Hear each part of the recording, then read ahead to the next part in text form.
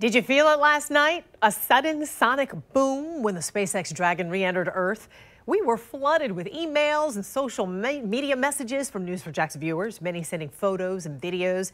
Meteorologist Danielle Juliano has those images.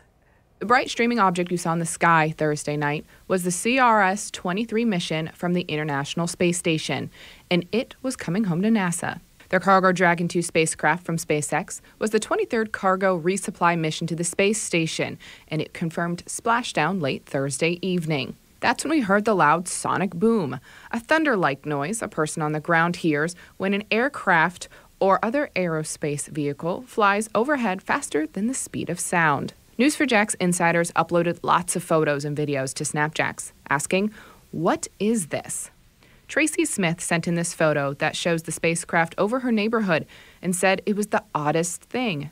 Haley Stone sent in this video from Callahan. The caption said, This was the video from the loud boom everyone experienced. And when we posted on Twitter asking if you heard the boom, we got responses like, I thought an explosion happened, it was so freaking loud.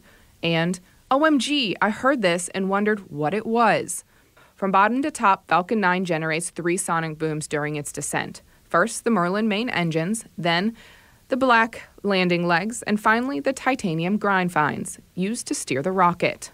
The next big date coming up is a manned SpaceX launch scheduled for Saturday, October 30th at 2.43 a.m. Four astronauts will be on board as part of the crew. Live in studio, Danielle Juliano, Channel 4, the local station.